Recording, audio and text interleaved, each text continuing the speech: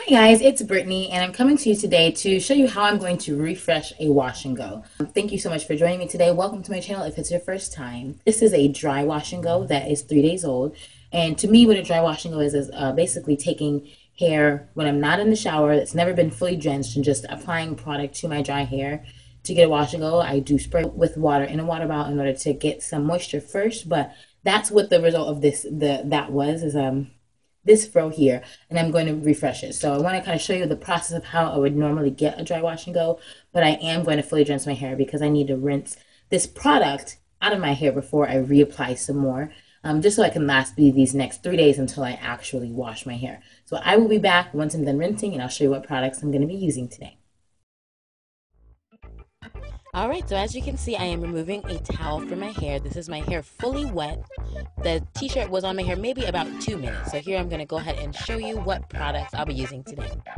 I am of course going to start with some plain old water in a spray bottle.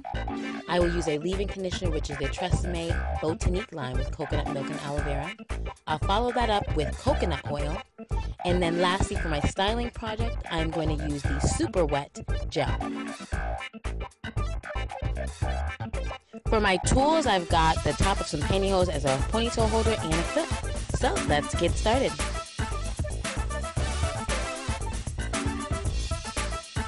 As you can see, I'm starting by parting my hair off in horizontal rows, and then I'll tie the rest of my hair up and out of the way.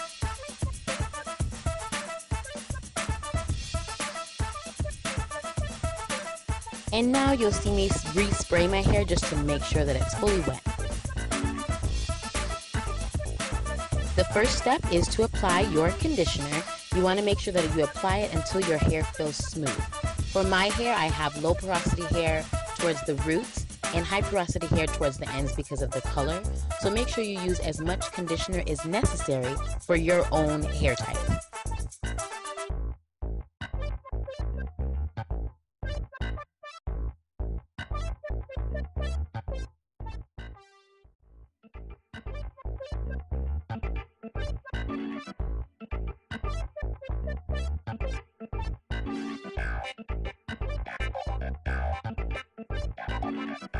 So the next step is to add the oil of your choice. I love coconut oil, especially helping with detangling. So whatever oil you prefer, go ahead and use that. And then I, I would finger detangle. The reason I am not using a comb is because this is not my normal wash day, and I limit the use of a comb to once a week. Alright, so here's the last part in regards to adding product. You want to apply your gel, whatever method works best for you. My best method is by raking and smoothing. I don't necessarily need to shingle, my hair is very coily already. So I just make sure I use the clip to clip the other parts out of the way and apply gel in the smaller section so I can ensure my hair is fully smooth.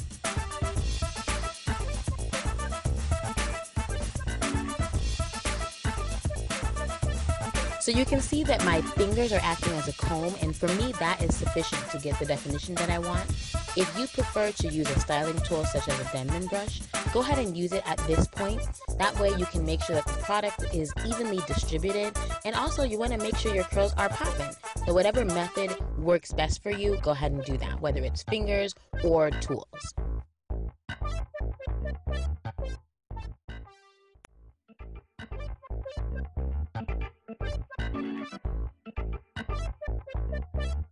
Now at this point, all you have to do is repeat the process. You just need to add the gel and smooth and rake it through your hair.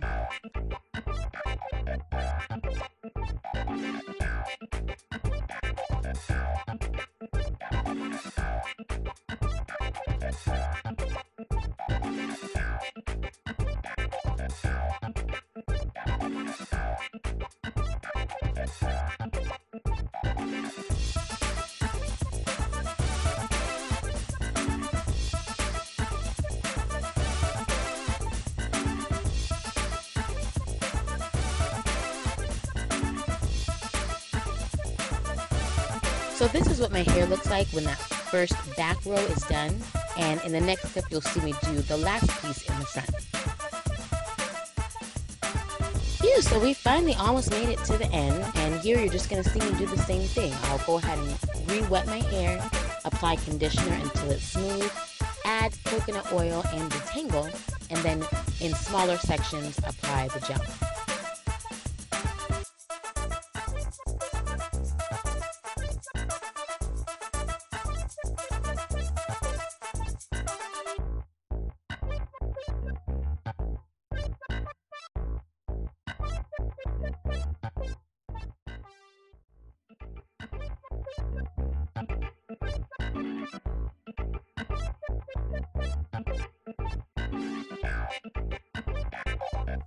Also, in case you were wondering how long this takes me overall, if I had not been recording, I can generally do this process in about 20 minutes. But because I was recording, it took me a little more than 45 minutes to complete.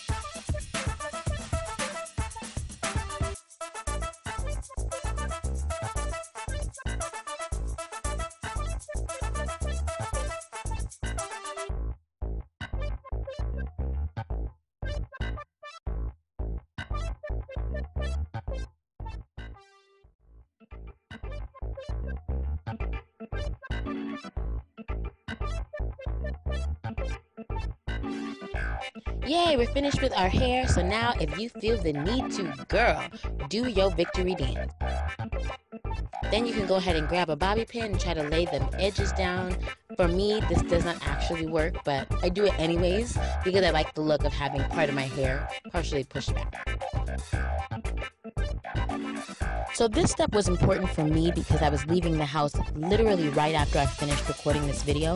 So blotting your hair with a t-shirt helps to make sure that your hair doesn't look white with the product. And it also assists slightly with the drying time, making it a little bit less. And the last thing you want to do is just make sure you shake your hair to separate your curls. You want to do your best not to touch your hair once you've finished applying the product until it is fully dry.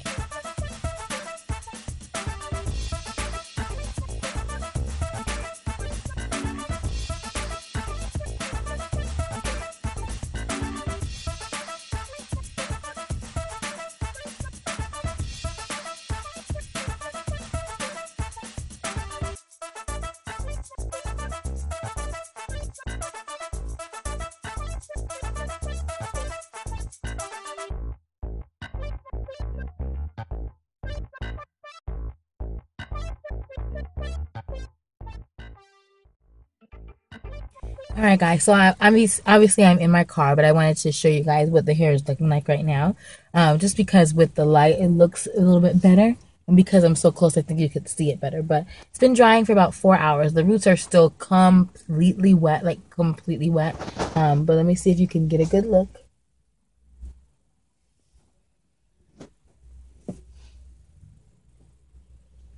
So the ends are dry, but the roots are, like, as I said, very, very much still wet. So I'll try to maybe take some pictures or another video clip later on so you can see what it looks like and definitely show you tomorrow um, once I've put it up in a ponytail for the night. So stay tuned. I want the attraction when I'm in the club. I want you to want me because I want your love. Baby. I want the attraction when I'm in the club. I want you to want me because I want your love. Baby.